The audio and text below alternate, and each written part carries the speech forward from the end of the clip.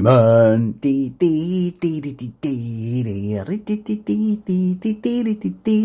Yeah, everybody knows them. Everybody loves them. Masters of the Universe Battleground here at my home. Ooh, damn, it's so good. And what's my job? Bring the box art to your home. Yeah. Okay, first, um, you need this miniature to assembly. Yeah, there's a very good uh, manual to see what which part has uh, on the body and so on. It's very simple, very good. The quality of these miniatures are super cool. Yeah, but the base is really small. The miniature itself, it's uh, 40 millimeters, 38, 35 between them. So, but the base is 25 millimeters and it looks fantastic, really. We paint in this uh, video orange, blue, and of course the green. And yeah, but you know, before we start, we do the same trick as the Nightwing video. Yeah, you see, I hold the miniature right under this lamp. The thing is, I know who's painted this. So he has three lamps. It's coming from the up and the right and the left. One primary light and two secondaries. So we have to check where the lights on the spot on the armor and the leg and so on. And then we make a picture with the phone. You know, everything the same like my Nightwing video. Check this out. You don't need zenithal priming and so on. You don't need that. Really. Okay, check this out. We check where the lights and then we started. Grab your tools, grab your everything, what you need, and let's start it. It's a complicated video, I have to say first, but in the end you will see. Here are our primary color. We take an orange and then a brighter, uh, like ochre color, and then German yellow, and uh, orange for maybe some get tones. And of course we need a green, a brighter green, and the blue, and ivory to highlight the blue.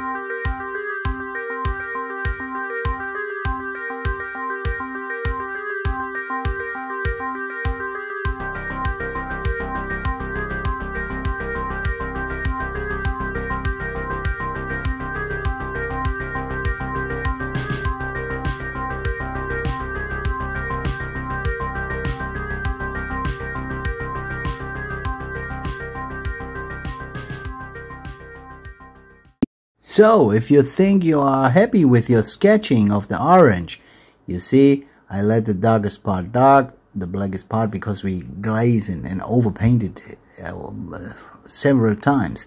And now you see, I prepared first glaze with the same color and go over all these parts this is um, makes a very very good transition and cover the blackest parts and bring these uh, colors between the black and the orange good together.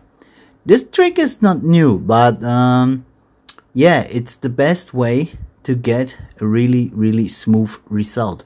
Take your time, wait after dried, and then repeat them so often you can, so often you will, uh, till you are happy with the result. Repeat them like I say and you see here the first result if they all is dry. And I don't know, I, I, I do this maybe three or five times, four or five times maybe, and get a really, really smooth, cool transition, uh, result of the color. And this is the very, very first most important uh, way. The second way is to give him uh, a wash. Because it has so super many details on this armor and I wash it. I get this advice from my friend Carlos from Firebrush Studios and I wash them with burnt red. Uh, it is nice. You can also do this with uh, hull red or black red something like that yeah? And you do this about uh, over the whole miniature really and concentrate to the uh, parts and you will have the best result.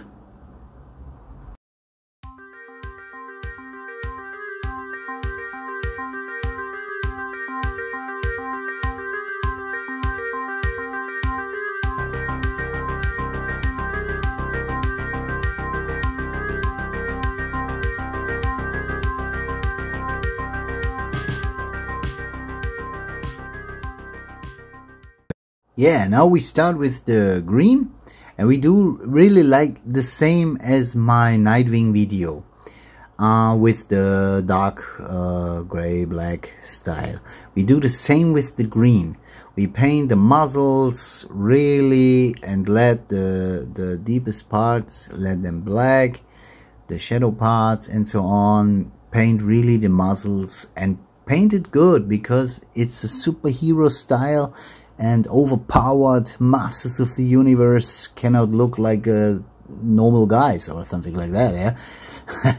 You have to paint it really really good. Repeat this painting repeat this color and let the darkest part. And then the same thing like every time. We take the same color and go over all you see here that makes it super smooth and fill the gaps fill everything with the color and repeat them so often you have until you like it yeah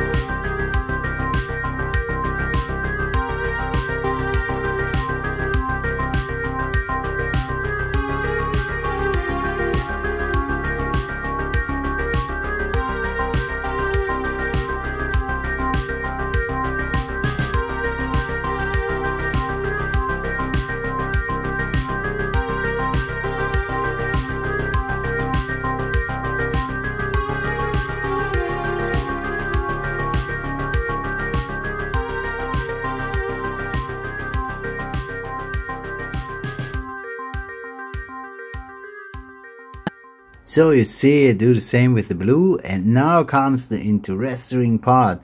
Now we fix and correct this orange again because sometimes the uh, the wash destroy here and there a little bit and we have to fix all the highlight parts. You see what I'm doing here?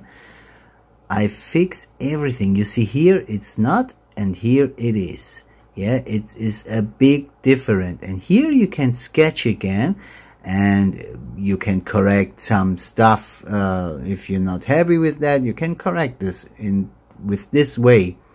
This is also not uh, new. It's uh, it's an old technique to uh, bring the color back if you wash something because normally I don't wash it uh, so much the miniatures because because I don't like it. I like it more to paint the shadows by myself. And um, but in this case we have to do this yeah? Really. And remember this is not a paint at count yeah? This is for inspiration to to try to to copy that box art yeah and here you see if they all are wet uh, yeah dry sorry then yeah. And here I show you uh, I paint this uh, part because it's a non-metallic gold part. I paint this in brown because uh, I paint this later uh, off cam and yeah what can I say? Look my videos about non-metallic gold you you will see what I'm doing. And now you see a little bit the, the green the orange comes super cool out and I make a great mistake. I uh, glued the, the head with the helm, I glue it on the body. And I recommend it um, to don't glue it on the body, then you can paint it alone. And it's hard to film the face painting.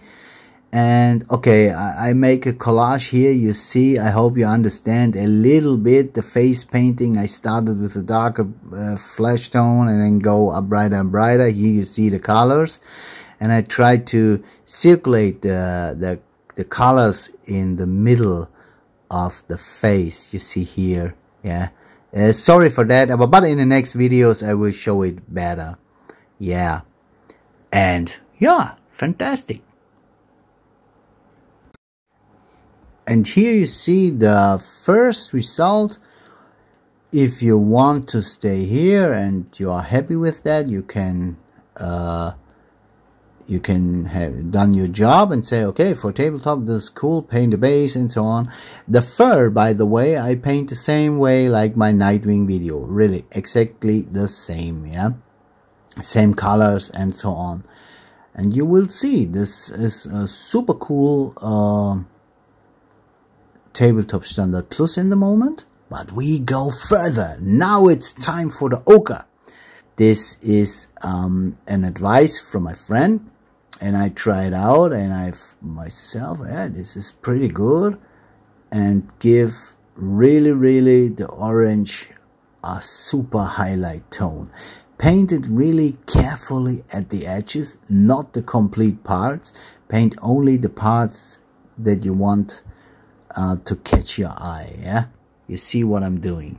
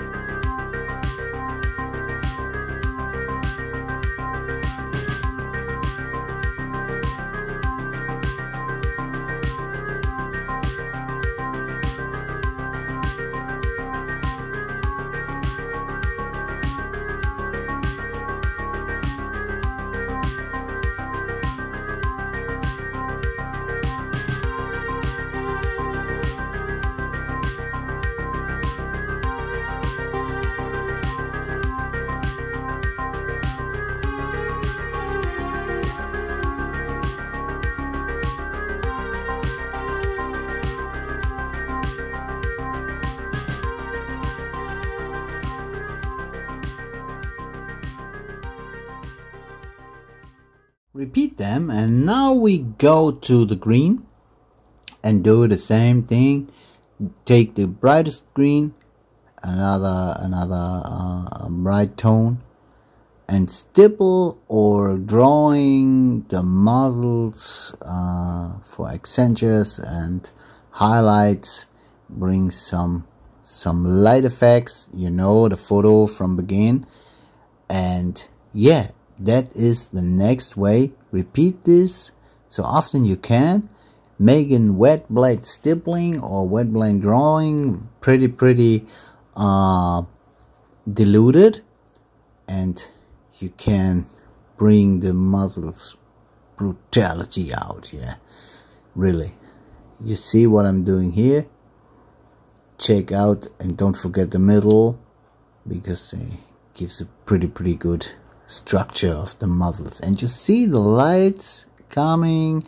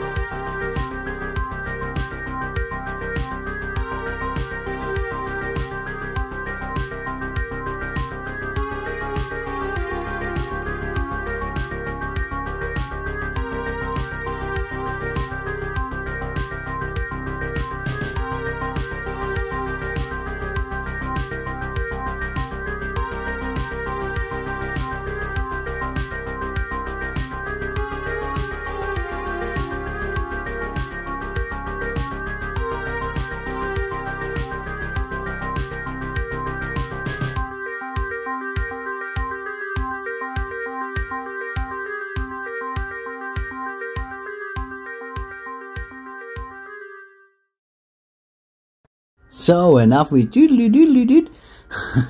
I promise in the next videos I use another music and it's time for doing the same with the blue.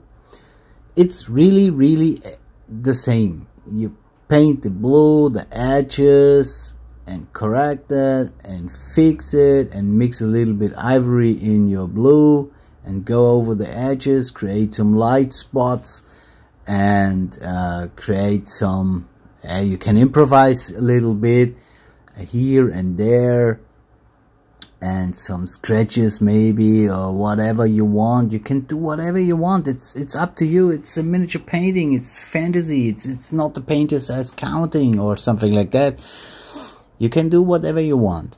And paint it repeat it wash it or glaze it and every time the same really it's every time the same let the deepest spot deep and so on.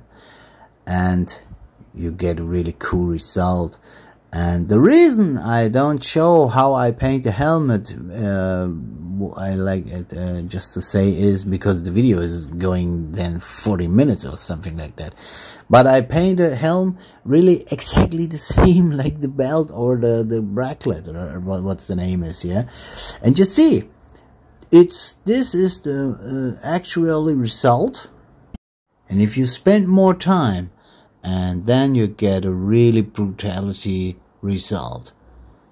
And ta here it is. Duncan the man at arms. Pretty pretty super hardcore uh, gaming over over style plus Duke's version of the box art.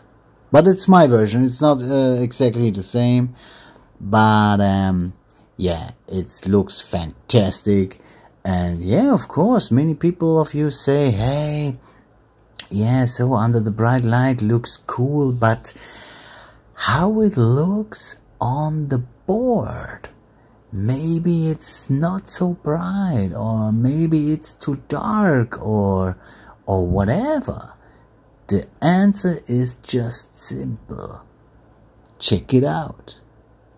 It's fantastic. Okay, I'm out. Bye and have fun, and we see us in the next video.